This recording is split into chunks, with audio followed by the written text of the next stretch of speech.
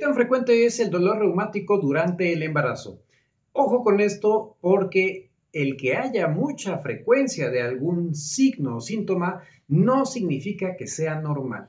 Esto lo digo porque justo hoy vi a una paciente que comenzó durante el embarazo con un dolor articular, primero migratorio, que típicamente dolía e inflamaba en una articulación, cuando mejoraba pasaba a otra, y así en un sentido que es muy característico del reumatismo palindrómico.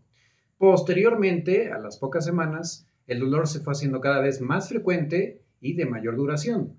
Y pues resulta que pasó por varios médicos y todos le dijeron que eso era completamente normal y que no había nada más que hacer y que no se podía estudiar, que porque el embarazo y que no sé qué. Eso es absolutamente falso. Y sí, es cierto, el 60 al 80% de las mujeres embarazadas van a experimentar algún tipo de dolor, pero eso no quiere decir que sea normal. El dolor jamás es normal. Siempre nos habla de que existe algún riesgo o que ya hay ahí una lesión.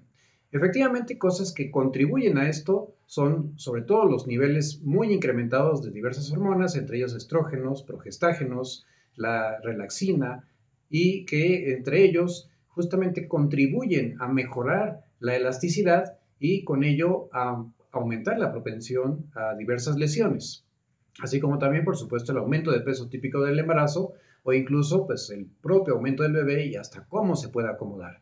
Pero una persona embarazada que tiene dolor articular, que predomina sobre todo en las noches y que llega a despertar a las, a las personas y se acompaña de rigidez en las mañanas, o vaya, que aumenta durante los momentos de reposo y mejora con el ejercicio, es significativo y debe llevarnos a descartar una enfermedad reumática sí o sí. En cuanto a la incidencia de enfermedades reumáticas durante el embarazo, incluso en personas que no tenían previamente una enfermedad, es del 1 al 3%, siendo la más frecuente la artritis reumatoide, que afecta más o menos de cada 1 a 1000 a 2000 embarazos. Le sigue aproximadamente en frecuencia el lupus, que afecta uno de cada 2.500 embarazos, en menor medida el síndrome de Sjögren, que tiene una estadística similar, uno en 3.000 a 4.000, y eh, la esclerosis sistémica también puede iniciar durante el embarazo en más o menos uno de cada 13.000. O sea, realmente es algo infrecuente, pero tampoco es extremadamente raro.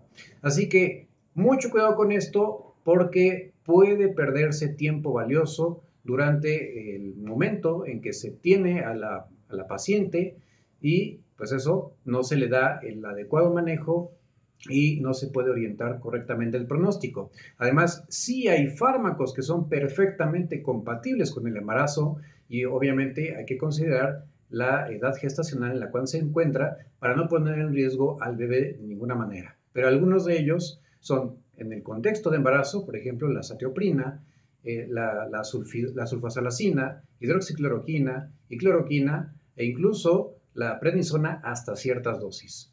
Así que mucho ojo con esto y esto principalmente dirigido a mis colegas y si tú eres una mujer embarazada que estás presentando dolores articulares acompañados de inflamación con rigidez en la mañana o especialmente un dolor que llega a empeorar en los momentos de reposo, necesitas visitar a reumatología. Cuídate mucho, no olvides compartir.